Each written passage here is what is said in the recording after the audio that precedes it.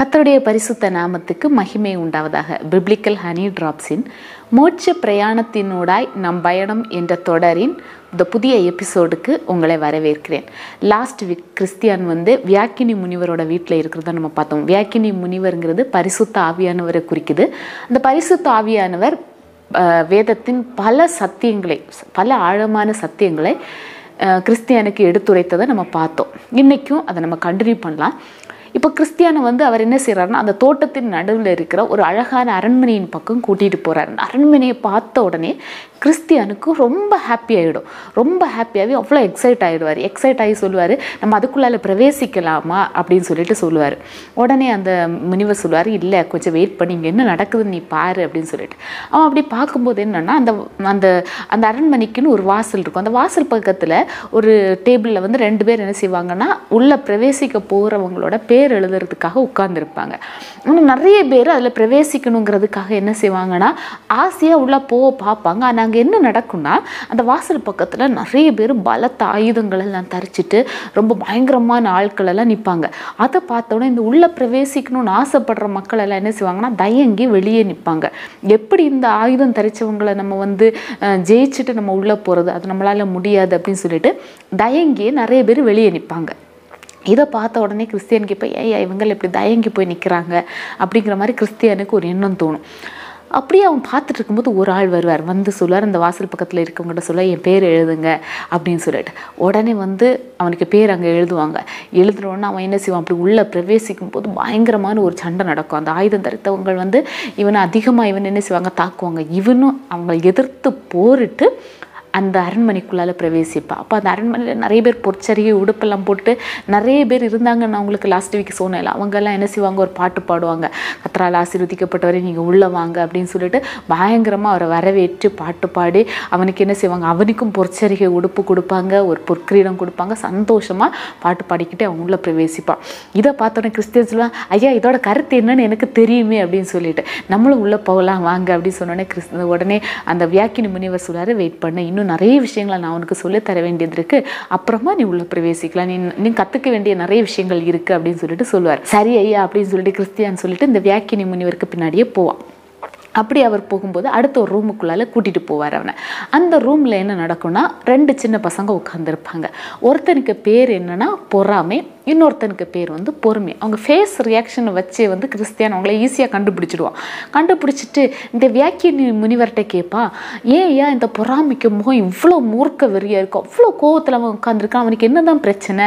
அப்படிங்கிற மாதிரி கிறிஸ்டியான் கேட்பான் உடனே வந்து வியாக்கினி முனிவர் சொல்லுவார் இவங்களோட அதிபதி வந்து இவங்களுக்கு தேவையான பொருட்கள் எல்லாம் ஒன் இயருக்கு அப்புறம் அதாவது ஒரு வருஷத்துக்கு அப்புறம் வந்து இவங்களுக்கு தரேன்னு சொல்லிட்டு வாக்கு கொடுத்துருக்காரு. ஆனால் இந்த பொறாமைக்கு வந்து அது வரைக்கும் பொறுமை இல்லை. எனக்கு என்னெல்லாம் வேணுமோ எல்லாம் இப்போவே வேணும்னு சொல்லிட்டு அடம் பிடிச்சி அவன் என்ன சொல்கிறான் இவ்வளோ கோவமாக உட்காந்துருக்கான் ஆனால் பொறுமை வந்து எப்போ என் அதிபதி தர்றாரோ அப்போ எனக்கு போதும்னு சொல்லிட்டு பொறுமையாக காத்திருக்கிறான் அப்படின்னு சொல்லிட்டு. அப்படி அவங்க பேசிக்கிட்டு இருக்கும்போது ஒருத்தன் என்ன செய்வானா ஒரு சாக்கு பை நிறைய அவன் என்னெல்லாம் கேட்டான் அந்த பொரு பொறாமை என்னெல்லாம் கேட்டானோ அந்த பொருட்களை எல்லாம் எடுத்து அந்த பொறாமைக்கு முன்னாடி கொட்டுவான். கொட்டணும் அவனுக்கு ஹாப்பிக்கு அளவே இல்லை. ரொம்ப சந்தோஷப்பட்டு அந்த பொறுமையை வந்து ஒரு மாதிரி இலக்காரமாக பார்த்துட்டு எல்லாத்தையும் அனுபவிக்க தொடங்குவான். அனுபவிக்க தொடங்கி ஒரு நிமிஷத்துலேயே எல்லாமே என்ன செய்யும்? காணாமல் போயிடும். அப்புறம் வந்து பார்த்தா அந்த பொறாமை வந்து அப்படியே இருந்த ட்ரெஸ் கூட இல்லாமல் கந்தை ட்ரெஸ் போட்டு போட்டுட்டு ரொம்ப அவலட்சணமாக ரொம்ப வந்து பரிதாபமான ஒரு தோற்றத்தில் உட்கார்ந்திருப்பான் ஆனால் பொறுமை இன்னும் பொறுமையாகவே காத்துக்கிட்டு இருப்பான். இதை பார்த்தோன்னே கிறிஸ்டியன் கேட்பான் ஐயா இதோட கருத்து என்ன? எனக்கு ஒன்றுமே புரியலையே அப்படின்னு சொல்லிட்டு. உடனே அந்த வியாக்கினி முனிவர் சொல்லுவார் இவங்க ரெண்டு பேரும் வந்து இந்த உலகத்தில் வாழ்கிற மக்கள். இல்லை ஒருத்தன் வந்து பொறாமைங்கிறவன் வந்து இந்த உலகத்தின் ஆசாபாசங்கள் எனக்கு வேணும். எனக்கு தேவையான சந்தோஷங்கள் இன்பங்கள் எல்லாம் இப்போவே வேணும். இப்போவே நான் எல்லாத்தையும் அனுபவிக்கணும்னு சொல்லி என்ன செய்கிறான் விடாப்படியே இந்த உலகத்திலே எல்லாம் அனுபவிக்கணும்னு போராடி எல்லாத்தையும் இந்த உலகத்திலே அனுபவித்து முடிச்சிடுறான். ஆனால் அவங்களோட கடைசி காலத்தில் தான் உணர்றாங்க. நான் எல்லாத்தையும் இழந்துட்டேன். நான் வந்து இந்த பரலோகத்துக்கு எதுவுமே நான் கொண்டு போகலை. நான் எல்லாத்தையுமே இழந்துட்டேன்னு சொல்லிட்டு தங்களோட நிர்பாக்கியமான நிலைமையை உணர்றாங்க. ஆனால் இந்த பொறுமைங்கிறவங்க வந்து என்னென்னா அந்த பரலோக பாக்கியத்தை நாடி தேடி ஓடுகிற மக்களை குறிக்குது. அவங்க வந்து இந்த உலகத்தில் உள்ள எல்லா பாக்கியங்களும் எனக்கு கிடைக்காட்டாலும் ஏசப்பா எனக்கு தர்ற அந்த பரலோக பாக்கியம் போதும். அது வரைக்கும் நான் காத்திருப்பேன் சொல்லிட்டு பொறுமையாக காத்திருக்காங்க. அவன் இன்னும் பொறுமையாக காத்திருக்கா. கண்டிப்பாக அவனுக்குள்ள பலன் வந்து அவனுக்கு கிடைக்கும். அவன் நிறைவான சந்தோஷத்தை பெற்று அவன் நித்தியமாக வாழப்போகிறான் அப்படின்னு சொன்னோடனே கிறிஸ்தியானுக்கு கிறிஸ்டியானுக்கு வந்து ரொம்ப ஹாப்பி ஐயோ இந்த உலகத்து சந்தோஷம் எதுவும் எனக்கு வேண்டாப்பா எனக்கும் அந்த பரலோக சந்தோஷம் மட்டும் போதும். நானும் அதுக்காக பொறுமையாக காத்திருப்பேன். அப்படின்னு சொல்லிட்டு சொல்லுவான். உடனே அந்த வியாக்கினி முனிவர் வந்து அவனை அடுத்த ஒரு ரூமுக்குள்ளால கூட்டிகிட்டு போவார். அந்த ரூமில் அந்த செவரில் என்னன்னா பயங்கரமாக தீ வந்து பற்றி எரிஞ்சுக்கிட்டே இருக்கும். அந்த தீயை பயங்கரமாக தீ பற்றி எரிஞ்சிட்டு ஆனால் இன்னொரு விஷயம் அதில் நடக்கும். அதை பார்த்தோன்னே கிறிஸ்தியனுக்கு பயங்கர ஆச்சரியமாக இருக்கும். அவ்வளவா தீ பற்றி எரிஞ்சிட்டே இருக்குது அதில் வந்து ஒருத்தன் என்ன செய்யறான் குடம் குடமாக தண்ணி ஊற்றிக்கிட்டே இருக்கான்.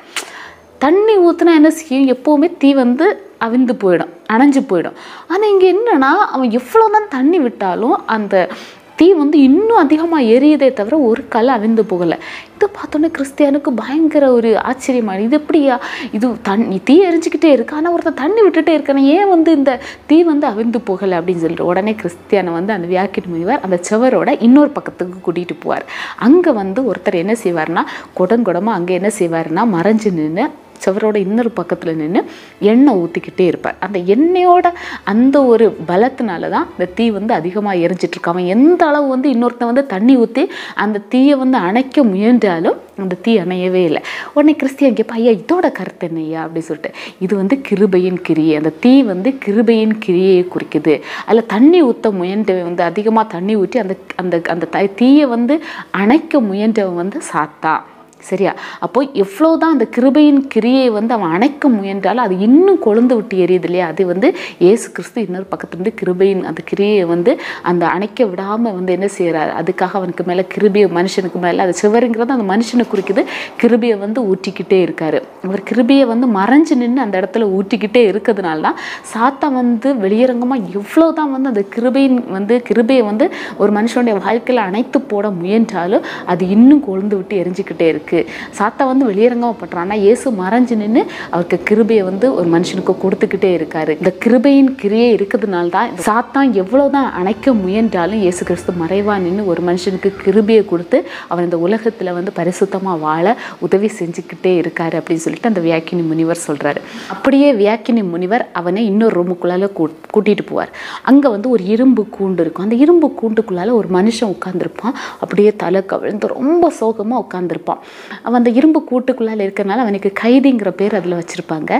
சரியா? அப்போ அவனை பார்த்த உடனே கிறிஸ்டியன் வந்து வியாக்கினி முனிவர்கிட்ட கேட்பாரு எதுக்கியா இவனை இரும்பு கூண்டுக்குள்ளால உட்கார வச்சிருக்கு? இதோட கருத்து என்ன? அப்படின்னு சொல்லிட்டு கேட்ட உடனே அந்த வியாக்கினி முனிவர் சொல்ல நீ அவன்கிட்ட பேச்சு கொடு நீ அவன்கிட்ட பேசிப்பாரு அப்படின்னு சொல்லிட்டு. உடனே கிறிஸ்டியன் வந்து அந்த கைதி அந்த இரும்பு கூட்டுக்குள்ளே இருந்த கைதி கிட்ட பேச்சு கொடுப்பான். அவன் அந்த கைதி கிட்ட கேட்பான் உன்னோட பேர் என்ன ஐயா? அப்படின்னு சொல்லிட்டு அவன் சொல்லுவான் என் பேர் கைதி. உன்னோட முன் சீர் என்ன? அப்படி முன்னால் நீ எப்படி இருந்த? ஏன் இன்னைக்கு இந்த நிலைமையில இருக்கன்னு கேட்கும்போது அந்த கைதி சொல்லுவான் முன்னால் நான் வந்து ஒரு பேர் எடுத்த ஒரு கிறிஸ்தவனாக இருந்தேன் என்னை தவிர வேறு யார் பரலோக ராஜ்யத்துக்குள்ளால் பிரவேசிக்க முடியும் அப்படின்னு நினச்சிட்டு அவ்வளோ பயங்கரமாக வாழ்ந்த ஒரு கிறிஸ்தவனாக இருந்தேன். என்ன மாதிரி ஒரு கிறிஸ்தவனை பார்க்கவே முடியாது. அப்படி வாழ்ந்த ஒரு கிறிஸ்தவனாக இருந்தேன். பின்ன ஏயா இப்படி இருக்க? இப்போ நீ என்ன பண்ணிகிட்ருக்க இருக்க? அப்படின்னு கேட்கும்போது இப்போ இந்த இரும்பு கூடு தான் என் வீடு.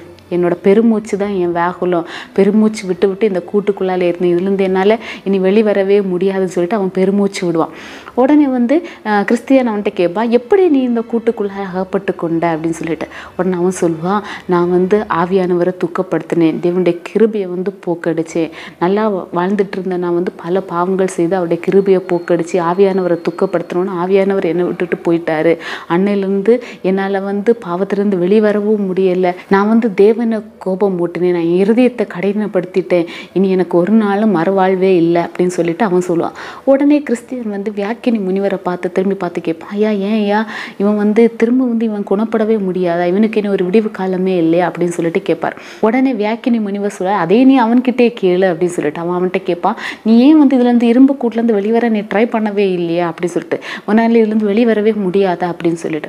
உடனே அந்த கைதி சொல்லுவான் இல்லை இல்லை எனக்கு இனி ஒரு மறுவாழ்வுங்கிறதே இல்லை அப்படின்னு சொல்லிட்டு. உடனே இவன் கேட்பான் கிறிஸ்டியன் கேட்பான் ஏன் அப்படி சொல்கிறா ஏன் உனக்கு மறுவாழ்வு இல்லை? அப்படின்னு சொல்கிறேன் நான் வந்து தேவனுடைய கிருபையை போக்கடிச்சிட்டேன். நான் சிற்றின்பங்களுக்கு அடிமையாயிட்டேன். எல்லா பாவங்களும் வந்து எனக்கு ரொம்ப சந்தோஷத்தை தர்றதை நினச்சி அதில் மூழ்கிட்டேன். இப்போ வந்து என்னால் அதுலேருந்து வெளிவரவே முடியலை. இயேசுவை மறுபடியும் சிலுவையில் அரைஞ்சிக்கிட்டேன். இனி வந்து எனக்கு ஒரு விடிவு காலமே இல்லை. இனி இதுதான் என்னோட ப அகாமியத்தோட பங்கு. இனி தேவ துரோகியான எனக்கு நியாய தீர்ப்பு தான் எனக்கு நியமிக்கப்பட்டிருக்கு. எனக்கு இனி ஒரு விடிவு காலமே இல்லை. கண்டிப்பாக நான் இதுலேருந்து விடிவரவே முடியாதுன்னு சொல்லிட்டு அவன் பயங்கரமாக பெருமூச்சு விட்டு அதில் வந்து கதறுவான். உடனே கிறிஸ்டியான் வந்து அவன்கிட்ட கேட்குறான் நீ வந்து மனம் திரும்பி குணப்பட முடியாதா? அப்படின்னு சொல்லிட்டு இல்லை நான் இனி ஒரு நாள் மனம் திரும்பி குணப்படவே முடியாது. என் இறுதி வந்து ரொம்ப கடினப்பட்டுடுச்சு. இனி வந்து நான் வந்து குணப்படவே முடியாது. அதனால தான் தேவனே என்னை வந்து இந்த இரும்பு கூட்டுக்குள்ளால் அடைச்சி வச்சுட்டாரு. இந்த உலகத்தில் உள்ள மனுஷர்கள் எல்லாம் சேர்ந்து என்னை இதுலேருந்து விடுவிக்க நினச்சா கூட என்னை விடுவிக்க முடியாது. இதுதான் என் பங்கு. இனி நியாய தீர்ப்பும் ஒரு நியாய தீர்ப்புக்காக தான் நான் பார்த்துக்கிட்டு இருக்கேன் அப்படின்னு சொல்லிட்டு அவங்க சொன்ன உடனே வியாக்கினி முனிவர் சொல்லுவார் இதை பார்த்துக்கோ இது எனக்கு ஒரு எச்சரிப்பாக இருக்கட்டும். என்னைக்குமே இதை நீ ஞாபகம் வச்சுக்கோன்னு சொன்னோன்னே கிறிஸ்தியான் சொல்லுவான். ஐயா இது ரொம்ப பயங்கரமாக இருக்குது என்னைக்குமே நான் என் இருதயத்தை கடினப்படுத்தக்கூடாது. தேவன் எனக்கு தந்த வழியை விட்டு நான் என்னைக்குமே மாறி வேறு செட்டின்ப வழிகளில் நான் போயிடவே கூடாது. இது ஒரு பயங்கரமாக இருக்குது அப்படின்னு சொல்லிட்டு கிறிஸ்டியான் சொல்லுவான். அப்படியே கிறிஸ்தியான் சொல்லிட்டு சொல்லுவான் சரி ஐயா நேரம் ஆகுது. நான் வந்து என் பயணத்தை தொடரலாமா? நான் கிளம்பட்டுமா இந்த இடத்துல இருந்து? அப்படின்னு சொல்லிட்டு கிறிஸ்டியான் கேட்டோன்னே வேக்கினி முனிவர் சொல்லுவார் வெயிட் பண்ணு. இன்னும் ஒரு காரியம் காரியத்தை நான் உனக்கு காட்ட வேண்டியது இருக்குது அதை காட்டினதுக்கப்புறம் நீ உன் பயணத்தை தொடரலாம் அப்படின்னு சொல்லிட்டு வேக்கினி முனிவர் சொல்லுவார். அப்படி வேக்கினி முனிவர் சொல்லிட்டு அவனை இன்னொரு ரூமுக்குள்ளால கூட்டிட்டு போவார். அங்கே ஒருத்தன் அப்போதான் எழும்பி அவனோட துணிகளெல்லாம் போட்டுட்டு அப்படியே எழும்பி உட்கார்ற மாதிரி இருந்துட்டு பயங்கரமாக தூக்கத்துலேருந்து அப்போ தான் எழும்பியிருப்பான். அப்போ தான் அவன் ட்ரெஸ் எல்லாம் போட்டுட்டு அப்படி எழும்பி உட்காந்து பயங்கரமாக நடுங்கிட்டு இருப்பான். நடுக்கன்னு அப்படி ஒரு நடுக்கம் அப்படி நடுங்கிட்டு இருப்பான். அவனை பார்த்தோன்னே கிறிஸ்டியன் கேட்பாரு ஏன் இவன் இவ்வளோ நடுங்கிட்டு இருக்கான்? அப்படின்னு சொல்லிட்டு. உடனே வியாக்கினி முனிவர் அந்த மனுஷன்ட்ட சொல்லுவார் நீ அதை அவனுக்கு எக்ஸ்பிளைன் பண்ண அப்படின்னு சொல்லிட்டு உடனே அவன் என்ன சொல்லுவானா இன்னைக்கு ராத்திரி நான் ஒரு சொப்புன்னு கண்டேன். வானம் எல்லாம் கார்மேகத்தால் மூடப்பட்டது. இடிகள் இடித்தது. வானங்கள் அந்த மின்னல்கள் எல்லாம் வந்து பயங்கரமாக பிரகாசித்தது. நான் வந்து அதை பார்த்து ரொம்ப வந்து பயந்தேன். அதில் வந்து மேகங்கள் எல்லாம் விலகி ஓடுச்சு. மேகங்கள் எல்லாம் விலகி ஓடி எக்கால சத்தம் எல்லாம் துணிச்சிச்சு. அப்போ மேகத்தின் மேலே ஒருவர் வந்து வீட்டிருந்தார் அவரை சுற்றி ஆயிரம் பதினாயிரம் லட்சமாக வான சேனைகள் இருந்தது. அவர்களெல்லாம் வந்து அக்கினி சுடர போல பிரகாசிச்சாங்க. அப்பொழுது அவர் மரித்தோரே எழுந்துருங்க நீங்கள் நியாயம் தீர்க்கப்பட வாருங்கன்னு சொல்லிட்டு கூப்பிட்டாரு. உடனே நிறைய பேர் நிறைய கல்லறைகள் எல்லாம் திறவிடும். எல்லாரும் வந்து மருத்துவர்கள் எல்லாம் எழுந்திருப்பாங்க.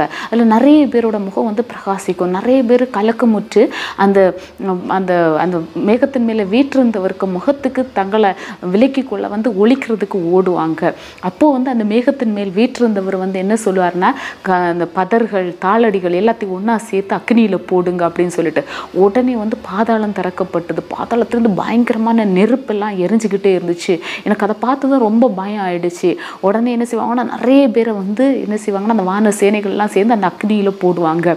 அப்படியே வந்து அந்த மேகத்தில் இருந்த வீட்டிருந்தவர் சொல்லுவார் கோதுமை எல்லாம் என் களஞ்சியத்தில் சேருங்க சொன்னோடனே இந்த வான சேனைகள்லாம் அங்கே இருந்து இங்கே சேர்த்து ஒன்று ரெண்டு பேராக பிடிச்சி அவங்கள மேகத்தில் கொண்டு போனதை பார்த்தேன். ஆனால் என்ன யாருமே மேகத்துக்கு மேலே கொண்டு போகப்படலை. என்னோட பாவங்களெல்லாம் எனக்கு ஞாபகம் வந்துக்கிட்டே இருந்துச்சு. நான் எப்படியாவது ஒழிச்சிடலான்னு சொல்லிட்டு ஒழிக்கிறதுக்கு ட்ரை பண்ணுறேன் ஆனால் அந்த மேகத்துக்கு மேலே வீட்டிருந்தவரோட கண் எனக்கு மேலேயே நோக்கமாக இருந்துச்சு. அதனால வந்து எனக்கு அந்த பாவம் என்னோட மனசாட்சி என்னை வந்து பாவின்னு உணர்த்துனதுனால நான் பயந்து இப்போ தான் அந்த சொப்பனத்தை பார்த்து பயந்து முழிச்சுக்கிட்டேன். இப்போ தான் அந்த சொப்பனத்தை பார்த்து அதனால தான் ரொம்ப பயந்து நான் இப்போ எழும்புனேன் அப்படின்னு சொன்னோடனே கிறிஸ்டியன் கேட்பான் இந்த சொப்பனத்தை பார்த்து எதுக்கு இவ்வளோ பயந்த? அப்படின்னு சொல்லிட்டு அவன்கிட்ட கேட்ட உடனே அவன் சொல்லுவான் யார் பின்ன பயப்படாமல் இருப்பார்? அந்த அக்கினி வந்து அந்த பாதாளத்துலேருந்து எழும்புறதை பார்த்தாலே அவ்வளோ பயமாக இருந்துச்சு. அது குமுறிக்கிட்டே இருந்துச்சு. என் பேரும் ஜீவ புஸ்தகத்தில் இல்லை. என்னையும் வந்து அவங்க மேகத்துக்கு மேலே கொண்டு போகலை. அப்போது என்னோட பாவங்களை என்னை உணர்த்திக்கிட்டு இருக்கும்போது நான் நரகத்தில் தள்ளப்படுறேன்னு நினைக்கும் போது எப்படி நான் பயப்படாமல் இருக்க முடியும் அப்படின்னு சொல்லிட்டு அவன் சொன்ன உடனே வியாக்கினி முனிவர் வந்து கேட்பாரு கிறிஸ்தியானே பாத்தியா இதெல்லாம் ஞாபகம் வச்சுக்கோ. என்றைக்குமே நீ ஒரு நல்ல கோதுமையாக இருக்கணும். பதறா நீ மாறிடவே கூடாது.